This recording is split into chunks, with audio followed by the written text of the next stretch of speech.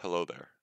My name is Mark, and today I'll be talking to you about vitamin D deficiency and documenting my study of vitamin D deficiency. So, what community am I going to focus on?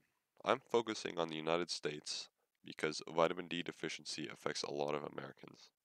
In the US, uh, up to 42% of adults are affected by vitamin D deficiency, and going into more detail, 63% of Hispanic adults and 82% of African American adults. However, I'm unsure of the accuracy of these figures, as in another article I read it was 25% of Americans. However, this, different, this difference might be explained from children and the elderly having higher levels of vitamin D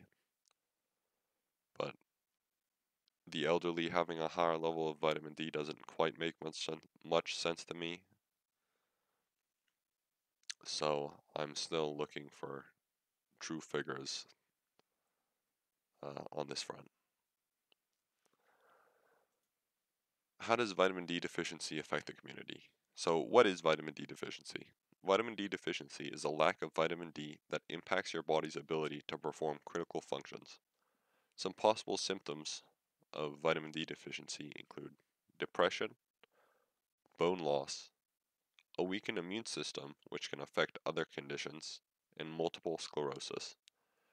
And this weakened immune system has become uh, especially important in recent years during the COVID 19 pandemic, which I'm going to talk about in the next slide.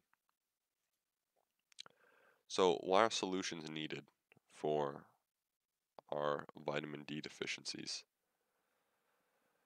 So, a vitamin D deficiency and the weakened immune system that comes from it can play a critical role on the severity and survivability of COVID 19. In an article from UC Davis Health, uh, Patients with a vitamin D deficiency were 14 times more likely to have a severe or critical case of COVID 19. And additionally, the mortality rate for those with insufficient vitamin D levels was 25.6%, compared with 2.3% among those with adequate levels.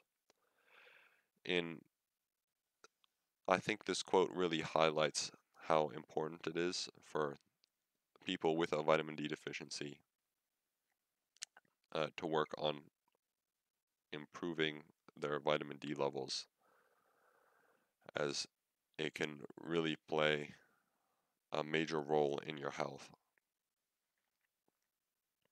Uh, and that's all I have to say for today. Thank you all for listening.